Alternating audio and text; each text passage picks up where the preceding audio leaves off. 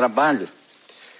E eu queria muito rapidamente, realmente muito sucintamente, historiar, é, dar um, um, um, significado a esse encontro, a esse momento que a gente tem aqui. Acho que no mês de junho, talvez no final de maio, o professor Saldiva me convidou para vir aqui para ter uma conversa sobre a educação né, e os problemas da educação. Ele falou, olha, com essa simplicidade com que ele fala, ele falou, olha, nós somos tudo é, enzima, né? Mas temos que provocar coisas aí, as coisas têm que acontecer, não é? é nós, nós, estamos assim, é, assim, saturados de diagnósticos e, e de desalentos e de resultados, assim, quando se publicam resultados de avaliação, parece que a gente está no fundo do poço, quando vem a próxima avaliação, a gente conseguiu descer mais ainda. Eu disse, chega disso, né? Vamos conversar sobre o, o que, que a gente pode fazer numa instituição como a nossa, né? Nossa, a dele, é, assim, a que ele representa, o IEA, que tem uma história de participação na, na Constituição de 88, na LDP, não é? De, de 96, e, enfim, que teve um envolvimento, um envolvimento importante. Algumas das pessoas que estiveram envolvidas naquela época estão aqui agora, como professora Ivone, nossa mestra.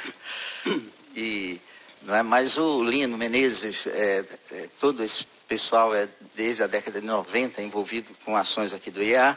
Provisoriamente a gente estava um pouco afastado e o Saldiva reuniu e pediu ação.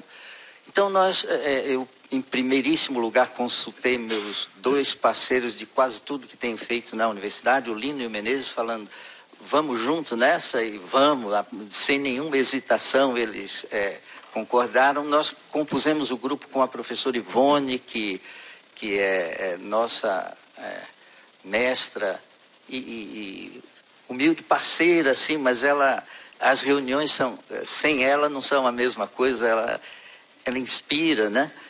E o Hélio, com seu entusiasmo tecnológico, não é? e, e sua eficiência, o, o, o Eli apareceu como a ala jovem lá da Faculdade de Educação, querendo participar, colaborar, e a Helena, a Helena Singer, cadê a Helena, né? Está aí escondidinha, que já é, era de um grupo anterior aqui do IEA, de certa forma ela nos antecedeu a todos. Aí nos reunimos e fizemos algumas é, reuniões de trabalho no, aqui no, no, mês de julho, né, no, uma no mês de junho, e mapeamos não é, é cinco é, grandes focos de problemas na educação básica brasileira, né?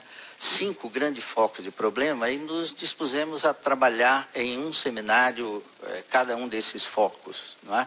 Todos estão interligados, a gente não vai poder separar eh, rigidamente uns dos outros, mas há o, o centro das atenções é?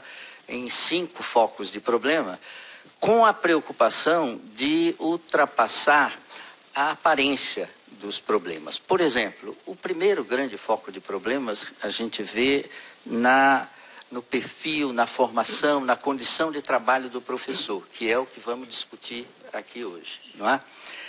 E a aparência desse problema na mídia e, e grandes manchetes, a aparência é que faltam professores, ou então faltam professores é, com a qualificação devida. É assim que as coisas aparecem. Falta professor de matemática, falta. E a realidade é, é, é parece diferente. Isso é tema para a gente discutir hoje aqui, mas a realidade parece diferente. Não faltam professores. Acho que a Marinês traz um, um arsenal de números aí é, extremamente interessantes que ela fez a gentileza de mandar previamente para a gente é, ler. E, e, o que a gente vê é que faltam é, interessados em ser professor. Faltam professores querendo dar aula. Faltam condições de trabalho adequadas para atrair os professores que existem. Bons professores sempre existiram. Paulatinamente, muitos desses bons professores foram afastados da atividade docente, não é? Porque se eh, cansaram, não é? E se afastaram. E o sistema tem funcionado de uma maneira perversa que quanto mais bem preparado fica o professor, da educação básica, mas ele vai fazer outra coisa. Na melhor das hipóteses, ele vai dar aula no ensino superior, vai trabalhar num outro nível de ensino. Não é? Então, é, nós pegamos cinco focos de problemas. O de hoje é a questão do professor, o perfil, a formação, a condição de trabalho. Não é? O segundo é um por mês até dezembro. O segundo seminário será sobre a ideia de qualidade na educação básica pública. Sempre estamos pensando na educação básica pública. O terceiro de outubro será é, a despeito de todos esses problemas, existem muitas, muitas experiências inovadoras muito interessantes, não é? Que quando o governo, por exemplo, é, é, publica o resultado de uma avaliação, de certa forma, é, sugere para um desatento que não existe nada funcionando direito. E isso é ruim, porque a gente acerta no atacado, mas erra no varejo, mas esse varejo é ali que está a riqueza. E a meta teria que ser amplificar essa participação dessas experiências inovadoras, apoiar, identificar e contaminar as outras. Não é? Então, é, o terceiro seminário será sobre isso, esse mapeamento dessas experiências inovadoras. O quarto seminário, especificamente sobre o papel da tecnologia, vamos discutir isso em novembro, não é? a tecnologia. Ah, os cursos de educação à distância estão proliferando, é, é, é, é aí, está aí é, na, no olho do furacão, e eles não sabem resolver o problema mais simples, problema mais simples que uh, nenhum curso de educação à distância que eu conheça soube equacionar até agora, é um problema para a gente resolver, que é qual é a função do professor. Os cursos de EAD eles esquartejaram a função do professor, esquartejaram. Tem o que prepara o material, tem o que dá aula, tem o tutor, tem o que avalia. É um esquartejamento, não é? E, e, e então estão patinando em função disso.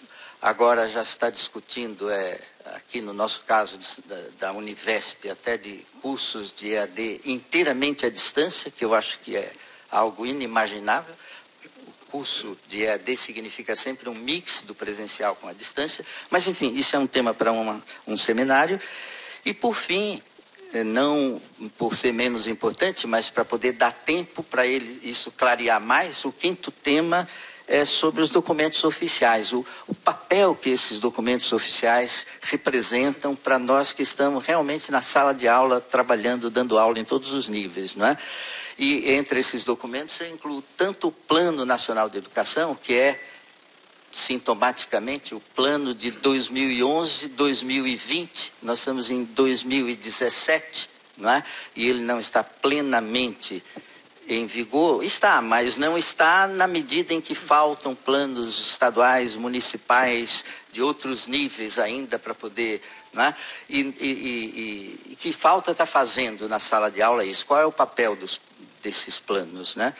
O plano é só um exemplo, mas o, os currículos, não é? os currículos estaduais, os currículos é, municipais, a base nacional comum curricular, é, em que medida esses documentos estão sendo, estão impelindo ou estão impedindo a o funcionamento da educação. Faltam os documentos e por isso a educação não vai bem, ou é, ou eles não têm esse papel, não estão com essa bola toda? Isso é uma discussão para o quinto seminário. A ideia ao final de cada seminário é que a gente esboce um texto. Claro que isso vai levar mais algum tempo para ser elaborado, mas hoje mesmo, no final da tarde, a gente espera um, um texto, não é? o esboço de um texto, traduzindo é, as questões, as propostas, tudo que vai acontecer aqui nesse dia de trabalho. E o esquema pensado foi o de eh, a gente dar a palavra a três pessoas de manhã, pessoas representativas não é, da, da educação brasileira, relativamente ao tema considerado. Então, é, chamar três pessoas para falar de manhã, 45 minutos cada uma delas terá para expor. Ah, hoje o tema é esse, ah, o professor. E à tarde, das 14 às 17 horas, nós vamos é, trabalhar com essas sugestões que essas pessoas que falaram, que nos brindaram aqui de manhã com a sua fala, trouxeram, né, com essas contribuições, nós vamos trabalhar, discutir em pequenos grupos, conversar. Não vamos ter 15 minutos de debate, vamos ter a tarde para trabalhar isso, não é? Das duas às três e meia, uma hora e meia, quer dizer, o dobro do tempo que cada pessoa terá para falar, a gente terá para discutir as falas, uma hora e meia, não é? Depois um pequeno intervalo, um café e ah, das 16 às 17 horas, nós vamos fazer a síntese de tudo que foi discutido em relação a essas três vertentes: o perfil, a formação e a condição de trabalho do professor.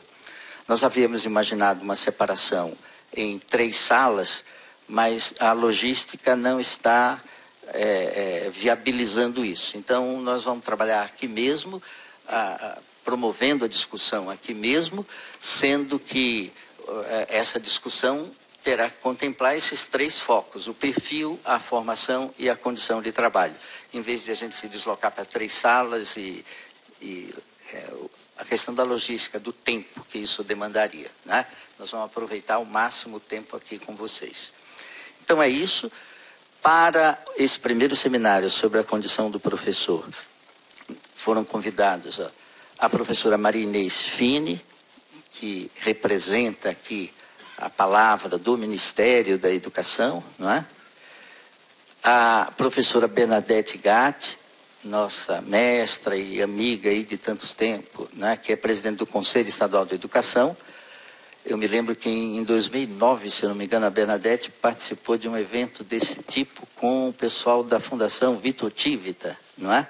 E daquela, daquele debate saiu uma matéria numa revista interessante, não é, Bernardo? Com oito sugestões. Eu fui pegar aquilo lá e falei, olha, eu, quando crescer eu quero fazer assim. Então a gente aqui quer hoje, no final da tarde, sair com sugestões como aquelas propuseram a Fundação Carlos Chagas e a Fundação Vitor Tivita, né, em 2009, sugestões assim, devia fazer isso, não é? País onde isso já foi feito, um exemplo, lembra disso? É, é, custo médio, baixo, alto, toda a preocupação com, com a realização, o chegar ao fim da linha, não é? E, e ela, então, até por conta desse evento, foi imediatamente é, lembrada para nos é, oferecer hoje alternativas para esses problemas relativos à função do professor. E o Naumar, guerreiro, guerreiro de sempre inspirado, é, tem um pouco do Saldiva assim, no Naumar, na, na inspiração para quebrar protocolo, sair da linha, não é? Sempre com a melhor das intenções, a mais rica das intenções e sempre com sucesso. O Naumar já foi reitor da, da Universidade Federal da Bahia, isso faz tempo, né? Mas atualmente ele é reitor da Universidade Federal do Sul da Bahia, né? E ah, tem coisas eh, interessantes para nos propor a respeito desse problema. Vamos então é, iniciar os trabalhos. Eu convido a, a ordem será, acho que a professora Marinês começará, é? a professora Bernadette a seguir, e o professor Naumar pediu para ser o último, em função de tratar de uma questão específica, mais específica. Então, é isso. Nós estamos começando um pouquinho atrasado, mas vamos é, recuperar ao longo do trabalho. Obrigado pela presença de todos e vamos à luta aí.